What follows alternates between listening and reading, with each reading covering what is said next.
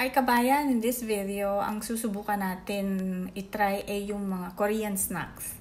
At sasabihin ko sa inyo which ones are nice.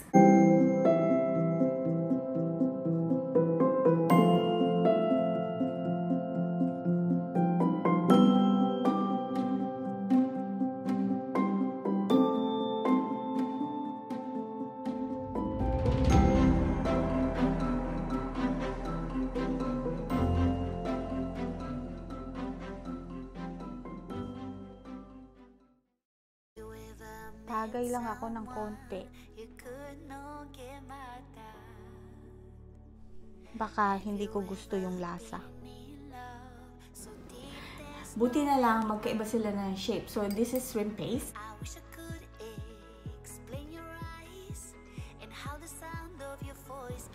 Ay, shrimp crock. So, tingnan natin ang difference.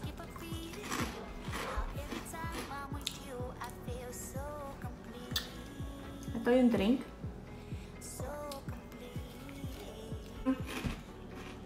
Tama lang yung alat niya. Very crunchy.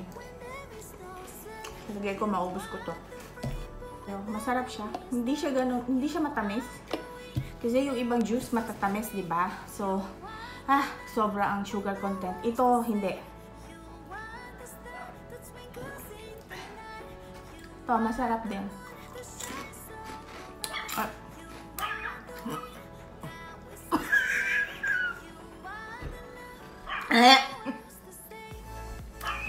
Una masarap. Ba't nagtatagal umaanghang?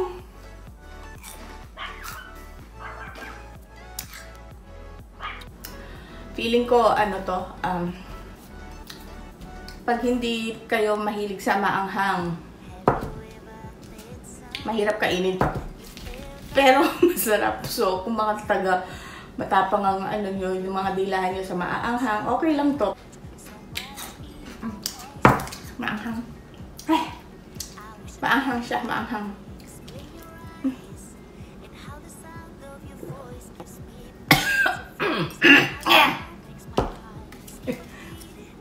Ito, masarap.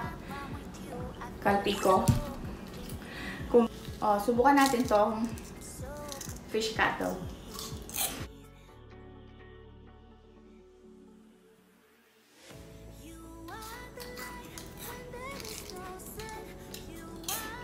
Mmm! Shock na shock to sa panlasang Pinoy. Mmm!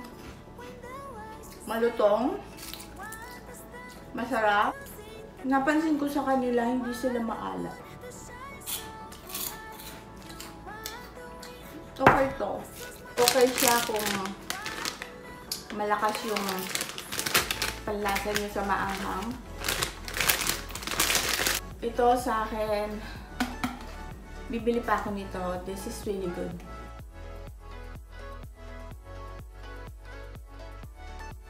This one is really nice.